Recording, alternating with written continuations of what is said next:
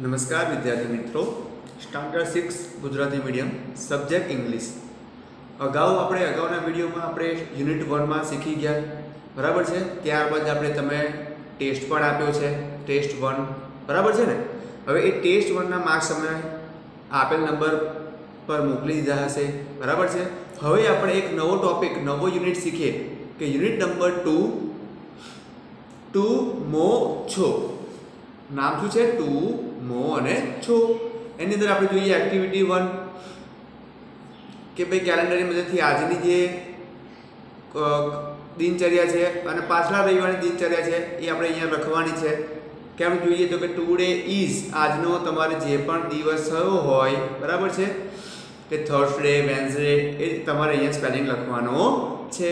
પછી છે I am in this classroom today આજે હું અહીંયા મારા ક્લાસરૂમમાં છું. આઈ હેવ હવે અહીંયા તમારે નોટબુક લખો વર્કબુક લખો, એ તમે લખી શકો છો કે I have workbook on my table I have notebook on my table બરાબર છે? અને આઈ એમ બીઝી એટલે કે હું વ્યસ્ત છું. એ તમારે નોટબુક લખો કે વર્કબુક જે લખો એ અહીંયા લખી શકો છો. ત્યારબાદ અહીંયા તમે જુઓ, એ હતી આજની વાત. અને આ છે પાછલા રવિવારની વાત છે.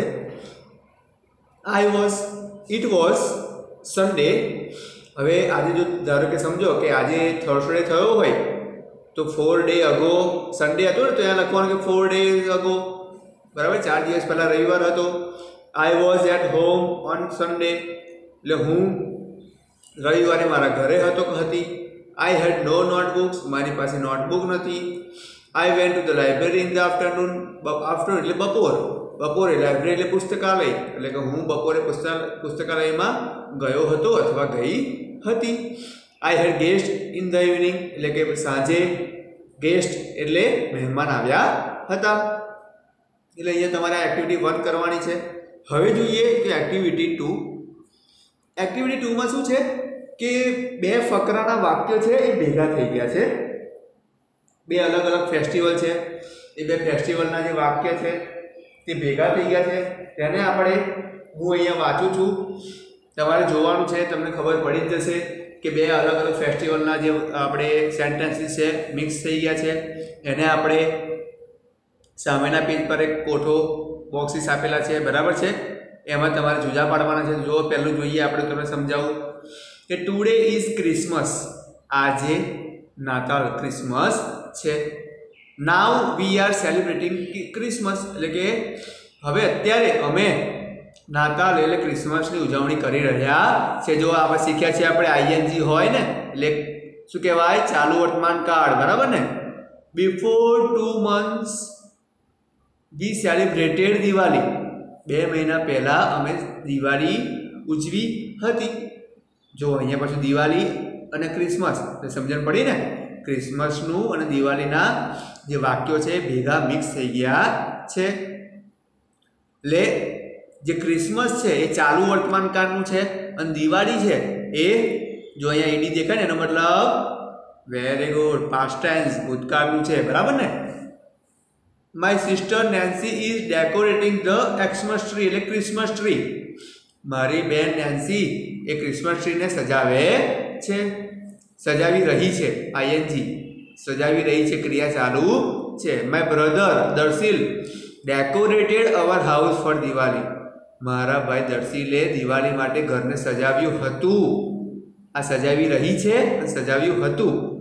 બરાબર ને? બે કાર્ડના ભેગા થયા છે ને દિવાળી અને ક્રિસમસનું. હી વોઝ એટ હોમ તે ઘરે હતો. Today Darshil is not at home આજે દર્શિલ ઘરે નથી. He is in the hostel તે હોસ્ટેલમાં છે. My mother is preparing a cake મારી મમ્મી છે, એ કેક બનાવી રહી છે.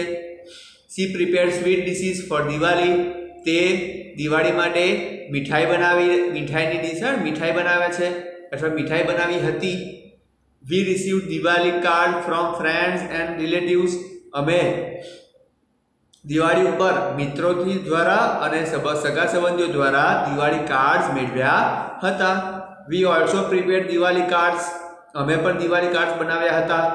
My father help us for that મારા પિતાજીએ એ માટે મદદ કરી હતી. My father is helping Nancy now મારા પિતાજી અત્યારે નેન્સીને મદદ કરી રહ્યા છે.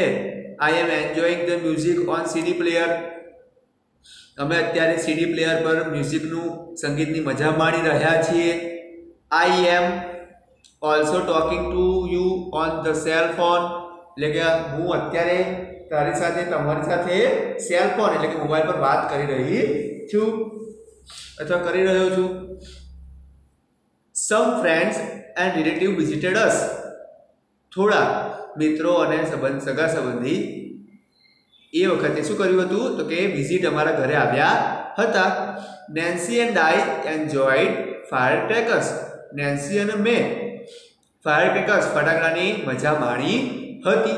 જો તમે આ પેરેગ્રાફ પરથી તમને ખબર પડી ગઈ હશે કે બે ચાલુ વર્તમાનકાળ અને ભૂતકાળ બંનેના વાક્યો મિક્સ થઈ ગયા છે, ભેગા થઈ ગયા છે. બરાબર છે? તો તેના આધારે તમારે આપણે જોઈએ. તો સામેના પાને નાવ એટલે કે અત્યારે અને ટુ મંથ અગો બે મહિના પહેલાં અત્યારે તમે ક્રિસમસ સેલિબ્રેટ કરી રહ્યા છો અને બે મહિના પહેલાં દિવાળી સેલિબ્રેટ કરી હતી. તેના બે અલગ અલગ કોષ્ટક આપેલા છે. તેમાં તમારે આપણે સામેના પેરેગ્રાફમાંથી શોધી શોધી અને અહીંયા બે વાક્યોને જુદા પાડવાના છે એટલે લખવાના છે. જો આપણે તમને સમજાવું, આખું કોષ્ટક તમને સમજાવ્યું મેં તો પણ ફરી સમજાવું કે હવે હું છે ને? ક્રિસમસ એટલે કે જે અત્યારે વર્તમાન કાળનું છે ને બરાબર? ચાલુ અલંકારના એ વાક્યો નીચે અંડરલાઇન કરીશ, તે વાક્યો તમારે નાવમાં લખવાના છે અને જેની નીચે અંડરલાઇન લીટી નહીં કરું, એ તમારે દિવાળીમાં લખવાના છે. તો ચાલો ટુડે ઇઝ ક્રિસમસ એટલે આ નાવમાં આવશે. પછી કે now we are celebrating Christmas એટલે આ પણ નાવમાં આવશે. છે? હવે before two month we celebrate Diwali, તો દિવાળીવાળું આવશે નહીં. પછી my sister is decorating Xmas tree એટલે ક્રિસમસ ટ્રી એટલે આ આવશે આ તમારે નામમાં લખવાનું છે. My brother Darshan decorated our house for Diwali તો આ દિવાળીનું વાક્ય છે, એ નહીં આવે? એ તમારે દિવાળીમાં લખવાનું. He was at home was આવે એટલે ભૂતકાળ, એ પણ તમારે નામમાં નહીં આવે. ટુડે એટલે આજે આવે તો આ પાછું નામમાં લખવાનું કે today Darshil is not at home આવશે he is in the hostel આ પણ આવશે. પછી my mother is preparing a cake આ પણ અત્યારે નામમાં આવશે. She prepare sweet dishes for Diwali એ અત્યારે નહીં આવે. We receive Diwali card from friends and relatives આ આવશે દિવાળીમાં. We also prepare Diwali card આ પણ દિવાળીમાં આવશે. My father help us for that આ પણ દિવાળીમાં આવશે. My father is helping Nancy તો આ નાવ એટલે કે ક્રિસમસ વાળામાં આવશે.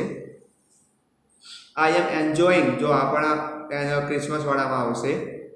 I am also talking to you એટલે આ વર્તમાન કાળનું છે વાક્ય છે એટલે પણ વર્તમાન કાળમાં આવશે. Some friends are relative visited ED છે, એટલે દિવાળીમાં આવશે. અને નેન્સી આઈ એન્જોયડ ઈડી છે, એટલે પણ દિવાળીમાં આવશે. એનો મતલબ, જે જે વાક્ય મેં નીચે અંડરલાઈન કરી છે, તે તમારે નાવ એટલે કે ક્રિસમસવાળા બોક્સમાં લખવાના છે. અને જેની નીચે મેં અંડરલાઈન નથી કરી, તે તમારે દિવાળીવાળા વાક્યમાં અને દિવાળીવાળા જે ભાગ છે તેમાં લખવાની સમજ પડી ને? અંડરલાઈન કરેલા વાક્યો તમારે અહીંયા લખવાના છે. જેની નીચે અંડરલાઈન નથી કરી, એટલે દિવાળીવાળા વાક્યો છે તમારે અહીંયા લખવાના છે.